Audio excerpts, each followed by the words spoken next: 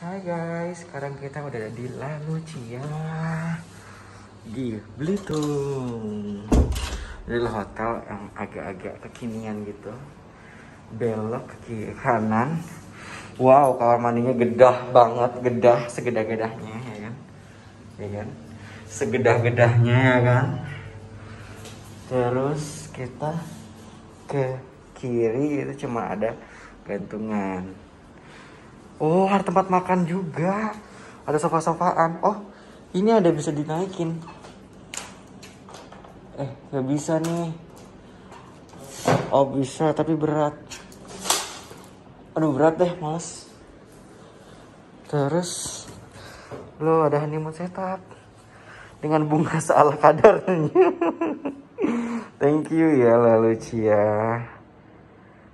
Make our perfect honeymoon on oh gitu dia. Terus gini terus nih TV-nya gitu guys. Udah deh. Oh ini ada chillernya juga. Tapi nggak ada apaan oke segitu aja. Nggak ada review macam-macam karena ini cuma hotel budget. See ya